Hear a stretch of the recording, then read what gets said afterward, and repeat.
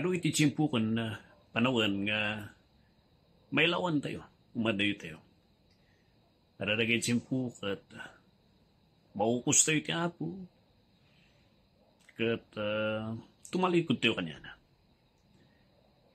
Iti kaskas daw, iti dahi nga Diyos nga inawat tayo kat isunay ti Diyos nga hana lang nga baybaya, hana lang nga bibuyaan iti anak na nga basta ti malikod. Kinagpaiso na kas may nga pastor, ada iti rik na iti Diyos nga nito eh. Nga dito anak na, ko na tayo nga adapted nga anak na. Kapusta nagapu tayo iti basol. Then sinubot na tayo nga pinagbalin na tayo nga anak na.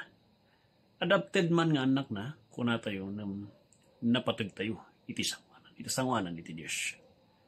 Kuna iti Salmo chapter um, 23, J second phrase iti rating a verse. He leadeth me in the paths of righteousness for his name's sake. Iti chimpo nga very down tayo. Iti chimpo nga kaya tayo nga umadayo iti sangwanan ti Diyos. Panahon nga agukos tayo. Una iti sa ti Apo, dayti nga pastor kat iturong na iti anak na nga ma nadisma-dismaya. Iti dalan nga nalintag. Anya nga dalan nga nalintag, dagito iti dalan nga according iti sao iti Apo. Anya iti nga dalan nga nalintag, dito iti dalan nga makaitidayaw iti Apo. Anya iti dalan nga dito nga nalintag, dito iti dalan nga napnuan iti kapapanan nga dahiti iti pinaka-purpose iti apo kada tayo. Kuna iti sa ti apo di ay He leadeth me. He leadeth me in the paths of righteousness.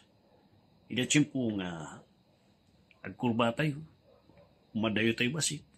Tano na duma ure dagiti uh, karniro kat uh, no baybayam lang di ay ada dagiti umadayo. Uh, nalakada nga ma, mapukaw ti atensyon da nga natin nakita da nga mayat nga kitaan mayat nga attractivity mata da nalakada nga maguyuyuy nga mapaniji nga direksyon. Nga may tisangwanan iti Diyos. Una na he leadeth his children. Iti dalan iti nalintag ada iti wagas na tapno may turong na dagiti anak na iti dalan ti kinalintag. Usaran na iti sa una. No na dumak at uh, no basam ti sa ti Diyos kat matulog ti riknam chimpu iti Bible reading mo usaran na dagiti ministro na. So no na duma? Ada maadal tayo makoriktar tayo matamaan tayo ti mensay gapusta guilty ti guilty tayo ti raramidan tayo.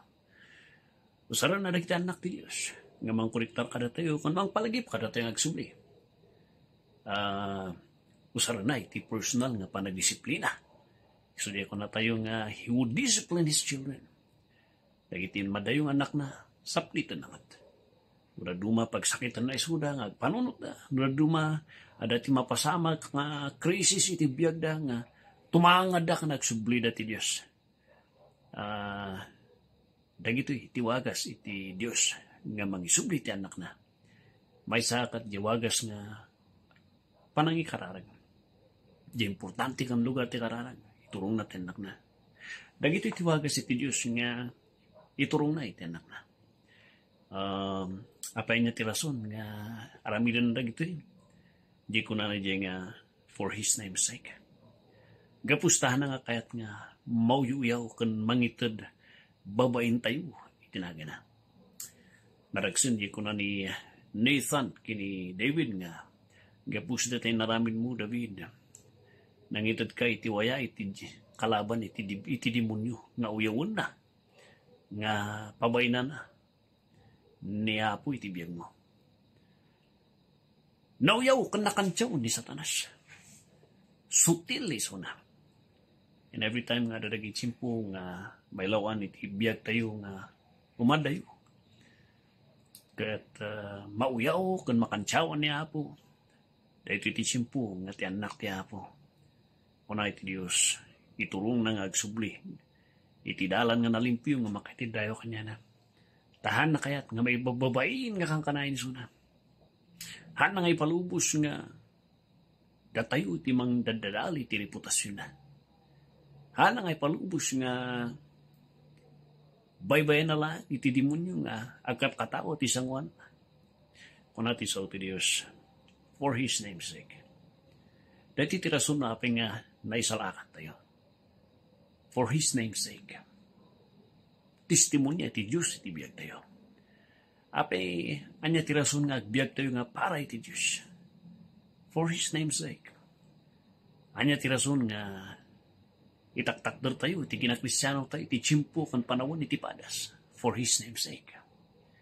Anya ti rason nga agsaserbi tayo kanya na. For His name's sake. Anya ti rason nga hantay nga umipibat ti pamati.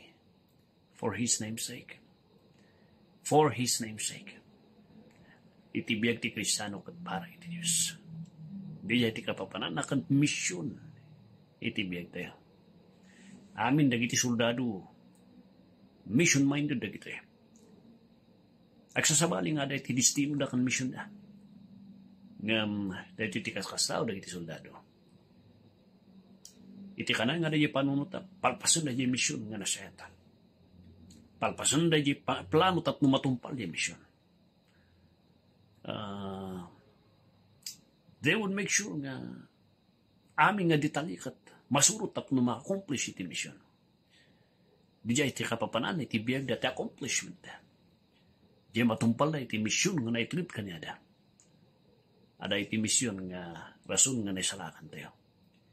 And that is for His name's sake. Tidakal nga sa lunsod. Agbibiyag ka kadi for His name's sake. Or agbibiyag ka para tibukbukon mo. My brother, my sister, iti ako. For His name's sake. Agbiyag tayo para kanya na. God bless you. Para iti kapsat nga nga hantay nga nag-subscribe. Awisat na kayo. Subscribe kayo iti page tayo. And it is uh, may isa nga instrumento kung wagas nga naitod kada tayo nga magparita man ti pamati tayo. Ito YouTube channel tayo. And uh, sapay kuma, just like the the Preacher's Dragnet di Facebook, kastimat lang dit YouTube nagbaling nga bendisyon iti tunggal maysa. Good night. And ni Apo, nga matalak nga pastor, iti mga iwan nga kaya. God bless you.